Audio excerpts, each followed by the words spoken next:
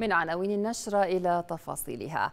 أكد وزير الخارجية وشؤون المغتربين أيمن الصفدي ووزير الخارجية الروسي سيرجي لافروف أن البلدين مستمران في تطوير علاقاتهما وفي تعزيز التعاون بهدف حل أزمات المنطقة وتكريس الأمن والاستقرار والسلام.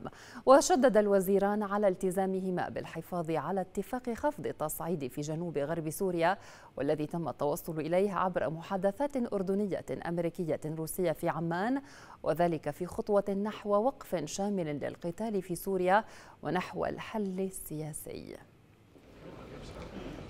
تنشط الدبلوماسية الأردنية بالتزامن مع المستجدات في المنطقة فبعد أيام من زيارة وزير الخارجية الأمريكي للعاصمة عمان يؤكد وزير الخارجية وشؤون المغتربين أيمن الصفدي من روسيا أنه لا يوجد أسلحة تمر عبر الحدود الأردنية السورية وأن الحدود الأردنية جسر لتمرير المساعدات الإنسانية إلى سوريا. تصريحات الصفدي تلك جاءت خلال مؤتمر صحفي مشترك مع نظيره الروسي سيرجي لافروف في مدينة سوتشي حيث أوضح أوضح الصفدي أن الشعب السوري هو الوحيد الذي يدفع الثمن جراء الحرب والأزمة التي امتدت لسنوات. الصفدي قال إن الأردن وروسيا بحثا الوضع في الركبان لتقديم المساعدات إلى السوريين في المخيم من داخل سوريا مؤكدا في السياق ذاته أن لا حل للأزمة السورية بلا حوار روسي أمريكي عربي. نعمل معا من أجل الحقول دون المزيد من التدهور لا مصلحة لأحد في التصعيد في سوريا لا مصلحة لأحد في استمرار القتال في سوريا. ضحية استمرار القتال أساسا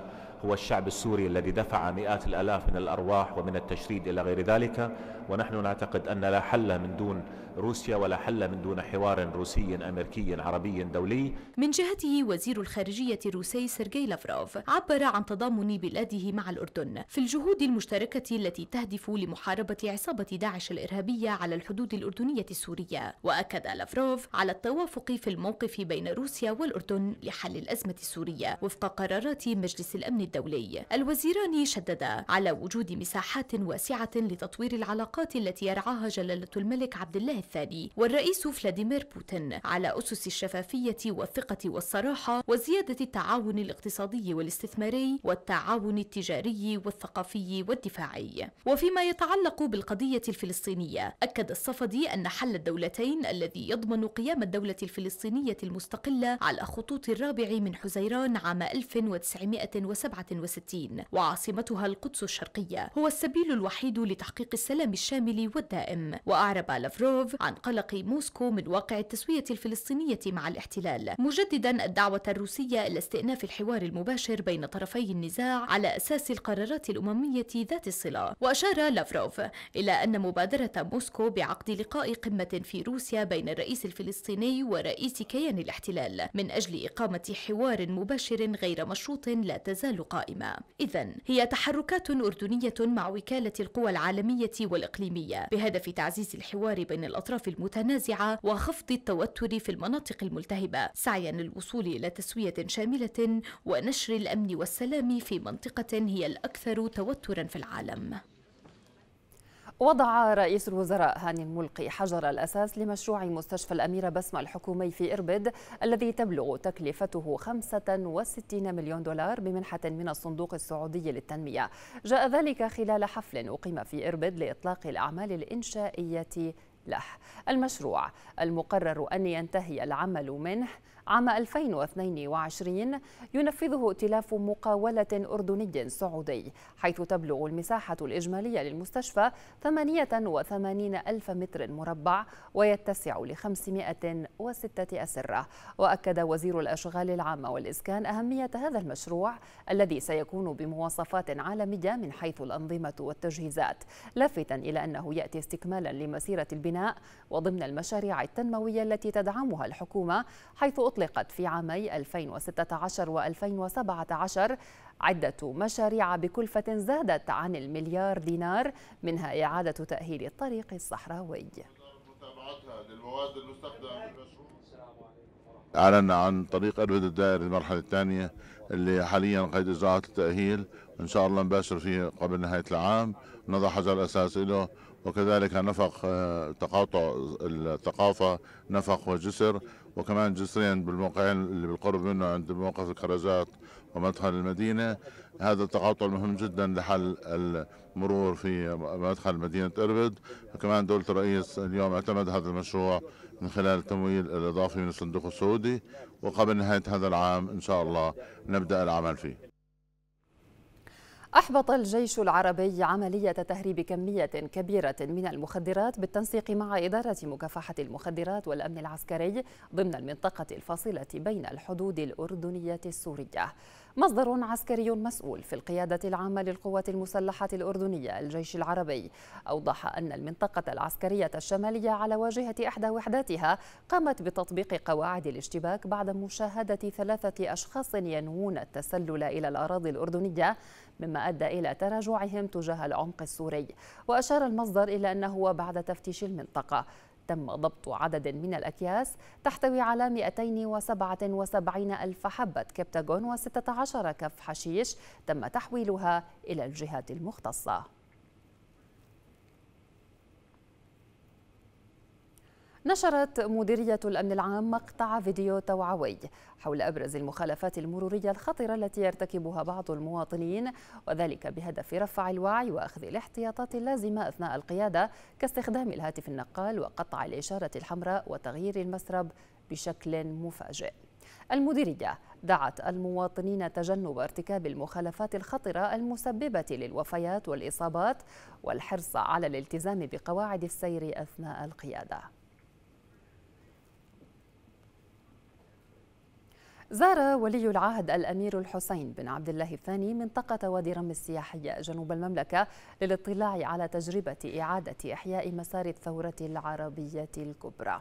ولي العهد كتب في تدوينة له على حسابه عبر موقع التواصل الاجتماعي إنستغرام قائلا بين أهالي وادي رم حيث اطلعت على تجربة إعادة إحياء مسار الثورة العربية الكبرى رحلة عبر 1916 بالقطار الحجازي. وأضاف أنها تجربة فريدة وممتعة. وأدعو جميع أبناء أردننا وزواره لخوضها والاستمتاع بها.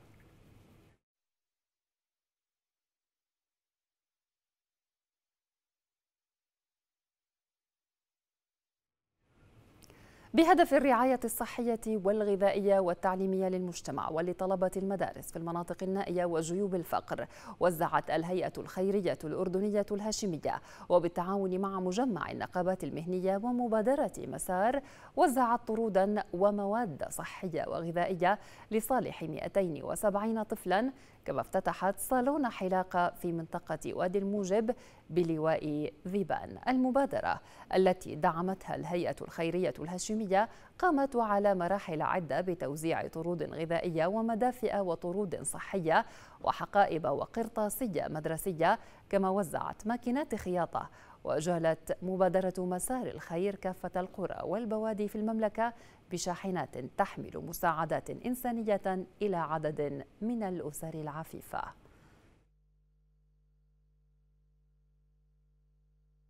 هدف هذه الفعاليات هي المناطق النائية للمجتمع الأردني المحلي.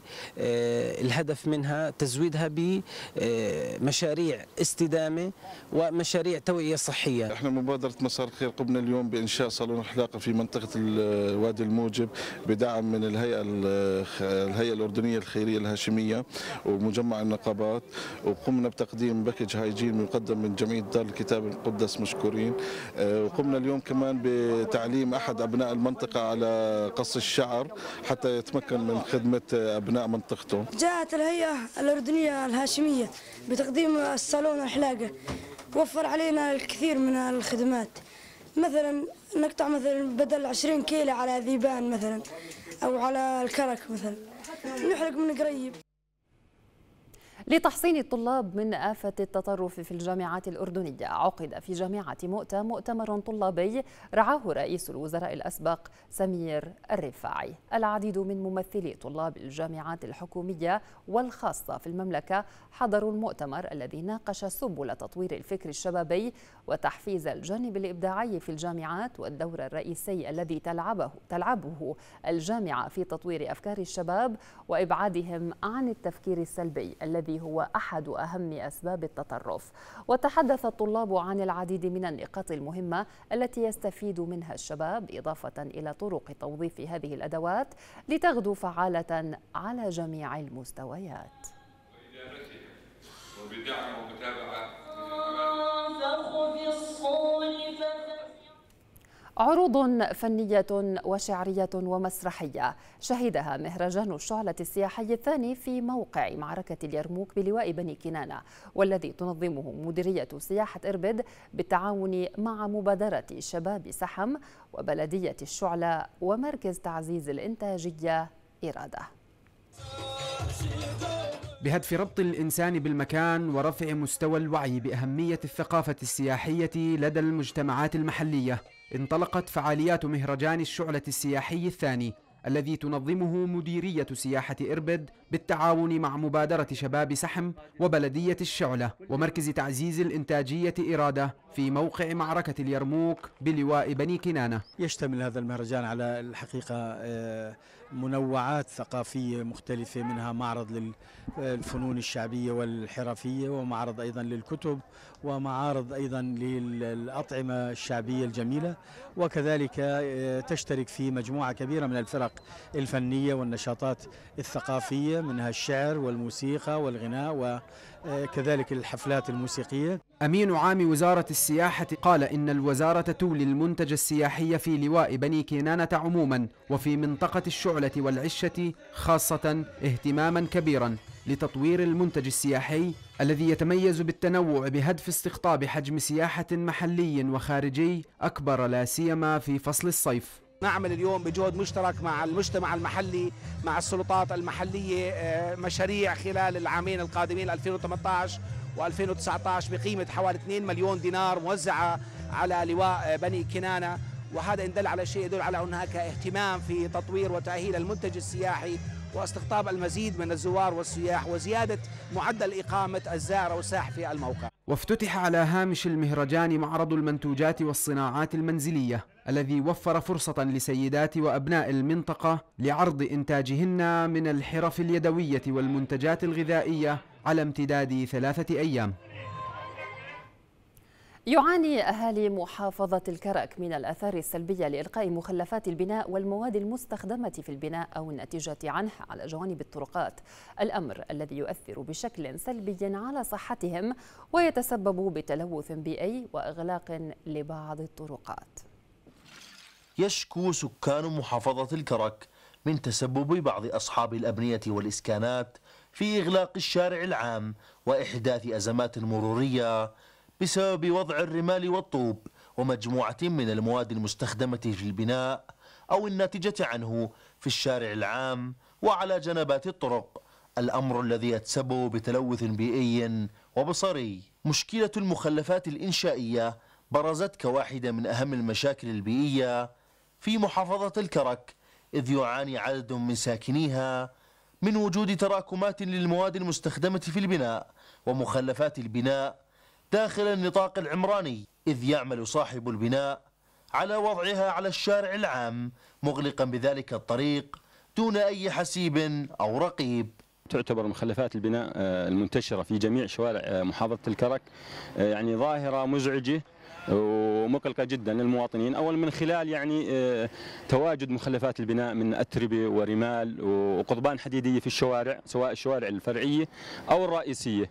آه، كما إنها تعتبر يعني آه، مضرة صحيا من خلال تطاير الغبار من مخلفات الإسمنت والاتربه والرمال المتواجده في جميع الشوارع. هذه الظاهرة يعني تعتبر يعني تقع مسؤوليتها على آتق الطرفين. الطرف الأول هو المواطن. اولا يعني من ناحية أخلاقية هو يعني المواطن صاحب العلاقة صاحب البناء أو المنشأة. إنه الالتزام بإزالة المخلفات البناء الخاصة به يعني التزام إخلاقي. والطرف الثاني هو البلديات. يعني كمان عندها يعني مسؤولية قانونية إنه إلزام المواطن بإزالة هذه المخلفات وكونها تعتبر يعني مشكلة مقلقة لجميع المواطنين. ظاهرة مخلفات البناء هي من المشاكل اللي بتؤدي إلى إرباك المواطن المواطنين داخل الشوارع فمثلا هي قضية مشتركة بين اللي بيقوم في عملية البناء والمسؤولين وخصوصا في البلديات وعدم متابعة. فمثلا من يقوم في عملية بناء آه، في أكوام الرمل بتكون متواجدة الأخشاب الحديد المسامير تنك مياه أحيانا بيكون متواجد في الشارع مما يسبب ذلك إلى إغلاقات الشوارع. إغلاق تم إغلاق تام بعض الشوارع بتكون مغلقة ولفترة طويلة ممكن يمتد البناء فوق شهر شهرين. وللأسف الشديد أحيانا بنجد غض نظر من قبل المسؤولين والمتابعين وخصوصا البلديات عن هذه الظاهرة التي تؤدي إلى إيذاء المواطنين. ومع اتساع النطاق العمراني لسكان محافظة الكرك تظهر الحاجة لتفعيل الأنظمة الغير مطبقة من قبل الجهات ذات العلاقة وعلى رأسها البلدية للحد من الأضرار الناتجة عنها التي تتسبب بتلوث صحي وبصري للسكان. محمد كفاوين رؤيا. سبقت دولة غواتيمالا الولايات المتحدة بنقل سفارتها إلى مدينة القدس المحتلة وهي التي كانت أول من حذى حذو واشنطن لدى إعلانها ذلك. التفاصيل في هذا التقرير. دولة غواتيمالا رفعت علم بلادها على مقر سفارتها الجديد في مدينة القدس المحتلة وذلك في مجمع الحديقة التكنولوجية في حي المالحة وقد بدأ وفد السفارة بالعمل من القدس بشكل رسمي لكن حفل الافتتاح سيكون في السادس عشر من الشهر الجاري. دولة مثل غواتيمالا دولة آه، ليست قوية سياسيا في العالم ولكن آه، الاحتلال اليوم يبحث عن أي أسهم عن أي آه، رقم يستطيع أن يعزز الشرعية الموهومة التي بدأها النظام الأمريكي بالاعتراف في القدس مدينة أو عاصمة لدولة الاحتلال. هذا الأمر يشكل خطورة بحيث أنه هذا سيشجع العديد من الدول أن تحذو حذو غواتيمالا والولايات المتحدة الأمريكية وتشيلي وغيرها آه، من الدول التي أعربت عن تفكيرها في الموضوع. آه، نرى أن هذا الأمر سيميع آه، الموقف الفلسطيني إن لم يكن الموقف بالقوة الكافية لصد هذه الهجمة. تمثل هذه الخطوة انتهاكا صارخا لقرارات الجمعية العامة للأمم المتحدة والتي تنص على أن القدس هي إحدى قضايا الوضع النهائي. فرغم الاستنكار والرفض الفلسطيني والعربي والدولي لمعركة نقل السفارات إلى العاصمة المقدسية إلا أن حكومة الاحتلال بدأت بتطبيقها على أرض الواقع. المطلوب الآن أن تقف الدول العربية والإسلامية أمام مسؤولياتها في تفعيل قرارات القمم العربية المتعلقة بأن القدس عاصمة أبدية للدولة الفلسطينية المتعلقة بمقاطعة أو التطبيع مع أي دولة تنقل سفارتها من تل أبيب إلى القدس. أعتقد أن المسؤولية الآن ليس فقط على الفلسطينيين المسؤولية الآن آه، تقع على أمتنا العربية على أمتنا الإسلامية وعلى المجتمع الدولي بحماية قراراته الأممية ذات الصلة التي تتحدث عن حق الشعب الفلسطيني بتقرير مصيري وإقامة دولة الفلسطينية وعاصمتها القدس الشريف.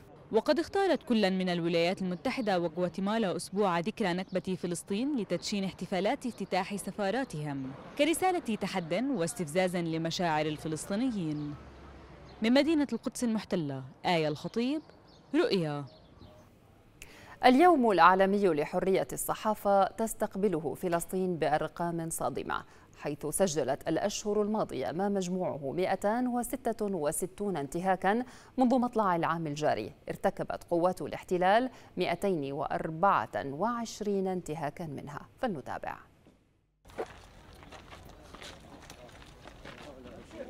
لإقصاء أي تغطية من شأنها أن تضر بصورة الاحتلال أمام المجتمع الدولي تسعى دولة الاحتلال التي تصور نفسها على أنها الدولة الديمقراطية تسعى لمنع العين الصحفية من توثيق انتهاكاتها بحق الفلسطينيين. فمقارنة بالأعوام السابقة شهد عام 2017 تصاعدا في نسبة الانتهاكات الاحتلالية وصلت ل 376 اعتداء على الصحفيين في كل من الضفة وغزة والقدس. أما هذا العام فقد ضرب الاحتلال رقما قياسيا في حجم الانتهاكات.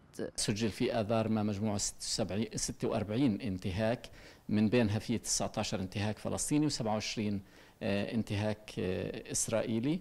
فقدنا اثنين من الزملاء برصاص الاحتلال في قطاع غزة. إضافة إلى العشرات الذين أصيبوا بنتحدث عن ما لا يقل عن 12 صحفي أصيبوا بالرصاص الحي. بمعنى أنه بنتحدث عن إعاقات دائمة عن إصابات خطيرة. إسرائيليا شهدنا أيضا هجمة شرسة على آه، وسائل الإعلام وخاصة في الضفة الغربية وفي مدينة آه، القدس. آه، كان عنوانها الأبرز إغلاق المؤسسات. 25 عاما عمل خلالها المصور الصحفي ناصر ناصر كمصور مختص في مناطق النزاع والحروب في الشرق الأوسط. ناصر عاصر الكثير الكثير. صابت عدة إصابات في براسي يعني كان أخطرها أو آخرها حتى آه، إصابة تعرضت فيها خلال الثورة المصرية تغطية الأحداث هناك. سوى هذا عندي كسور طبعا في المنطقة هاي. هاي آخر إصابة صابتها في مصر كانت رقم 11 يعني. في أحد المرات تصوبت في برصاصة مطاطي مش مطاطي معدني في راسي هون آه، سبع غرز يعني. كان من خلال المواجهات مع الجيش الاحتلال. أنا بالذات مصر على تغطيته والاستمرار في التغطية تغطية هاي الأحداث ماشي؟ بغض النظر عن الخطر وعن التهديدات أو الاستهداف لم تعد القضية بالنسبة للاحتلال منع صحفي من تغطية حدث معين بل ذهب الاحتلال لأبعد من ذلك وأقدم على إغلاق ثلاث مؤسسات إعلامية العام الماضي حرم على إثرها 95 صحفيا من ممارسة عملهم ليصبح مجموع المؤسسات التي أغلقت بشكل دائم أو مؤقت في الضفة والقدس 17 مؤسسة. من الضفة الغربية زين صندوق رؤيا في جولتنا حول العالم المزيد من الأخبار ومنها تحطم مقاتلة روسية قبالة السواحل السورية ومقتل طياريها والصحفي العراقي منتظر الزيدي يرشح نفسه للانتخابات النيابية.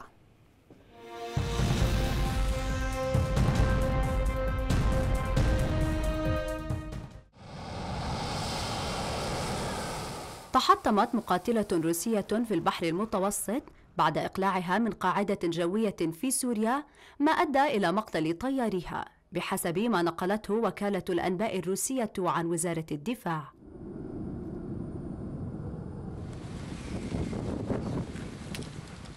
أعلنت السعودية وصول مواطن كان محتجزا في غوانتانامو باي بعدما سلمته وزارة الدفاع الأمريكية إلى الرياض ليصبح بذلك أول معتقل يغادر هذا السجن العسكري في عهد الرئيس دونالد ترامب. أن أنه ليس هنالك أمر الرئيس السوداني عمر البشير بإغلاق 13 ممثلية دبلوماسية وتقليص عدد الدبلوماسيين في سبع بعثات أخرى إلى شخص واحد وذلك لأسباب اقتصادية.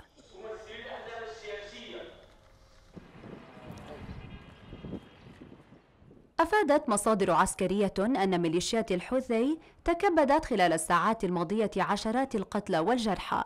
بينهم عدد من القياديين بقسم لطائرات التحالف العربي في محافظات صعدة والحديدة وتعز.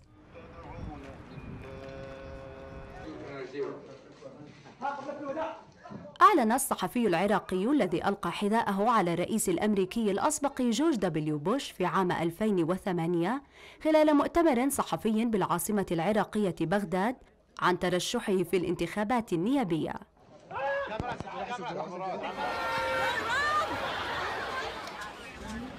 أصيب عشرات الأشخاص جراء انفجار في منطقة ستانفورد هيل شمال لندن وقع خلال احتفال يهودي. فيما قالت مصادر صحفية إن نحو 30 شخصا تعرضوا لإصابات بينهم عشرة أشخاص استدعت حالاتهم العلاج في المستشفى.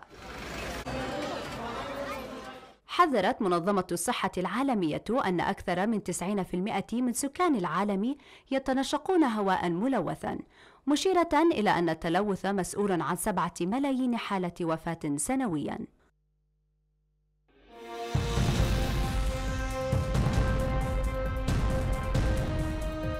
يحذر خبراء زراعيون من دودة الحشد الخريفية التي اجتاحت إفريقيا وتسببت بإفساد كميات كبيرة من المحاصيل الزراعية وذلك في غياب وسائل مجدية لمكافحتها فلنتابع. قد تبدو هذه الحشرة غير مؤذية، لكنها تتسبب بدمار كبير. دودة الحشد الخريفية استعمرت خلال عامين فقط ثلاثة أرباع القارة الإفريقية وهاجمت محاصيل الذرة فيها. أكثر من 200 مليون مزارع وعائلاتهم يزرعون الذرة لكن الخبراء يحذرون من مستقبل صعب إن لم يتم احتواء هذه الدودة. هذه الدودة تستوطن في الأوراق المحيطة برأس نبتة الذرة وتهاجمها بشكل منهجي تاركة وراءها أوراقا ممزقة وثمرة مجوفة. عمر هذه الحشرة قصير نسبيا حيث يصل إلى شهر ونصف وفي آخر أسبوعين تتحول إلى عثة يمكنها أن تتنقل مسافة 100 كيلومتر في ليلة واحدة. في محاولة لمواجهة هذه الحشرة المؤذية اتخذ المزارعون عدة إجراءات مثل استخدام الرماد لكن في غياب حل جذري لهذه المشكلة ينصح الباحثون بتبني ممارسات زراعية أفضل لزيادة المحاصيل وتعويض الخسائر.